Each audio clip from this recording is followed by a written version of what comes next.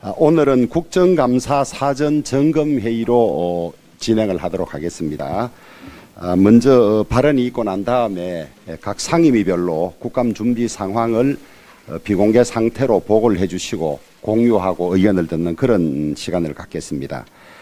아, 먼저 경북 고령 성주 칠곡 출신의 정희용 의원께서 원내대표 비서실장으로서 수고해 주시기로 했습니다. 어디 나오셨나요? 예.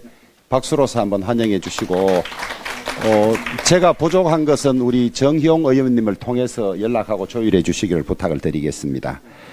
어, 어제 대전 현대 프리미엄 아울렛 화재로 무려 7명의 이 사망자가 발생했습니다. 삼가 고인의 명복을 빌며 유족들에게 깊은 위로의 말씀을 드립니다.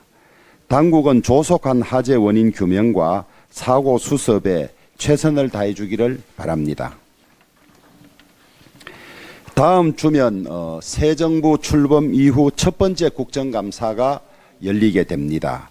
우리 국민의힘은 이번 정기국회 국정감사를 입법부를 견제하는 역할을 이행하는 어, 정정당당 국감, 책임 있는 집권 여당으로서의 민생 국감, 국민이 참여하고 투명하게 소통하는 열린 국감, 국민에게 신뢰를 주는 품격 국감으로 삼고자 합니다. 여소야대의 절대적 수적 열세 때문에 저를 포함한 115명의 의원 모두가 치열하게 국감에 임해 주셔야 할 것 같습니다. 특별히 우리 당은 국민과 함께 참여형 열린 국감을 만들기 위해서 오늘부터 당 홈페이지에 2022년 국정감사 제보센터를 설치해서 운영하기로 했습니다.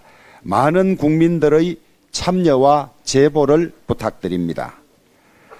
이번 국감은 지난 문재인 정권 5년을 총체적으로 평가할 수 있는 마지막 국감입니다. 지난 5년을 돌아볼 때 민주주의와 법치주의가 심대하게 위협을 받았고 외교, 안보, 경제 어느 하나 불안하지 않은 것이 없었습니다. 우리법 연구회 같은 특정 세력 출신이 법원을 장악하고 권력형 비리 수사를 막기 위해 임기 말에 검수완박을 강행했습니다. 대북 굴종 외교와 동맹 와해, 소득 주도 성장과 성급한 탈원전 정책, 태양광을 둘러싼 각종 비리 의혹, 불법 파업 묵인, 방송 장악, 임기 말 알박기 인사 등 일일이 나열하기조차 어렵습니다.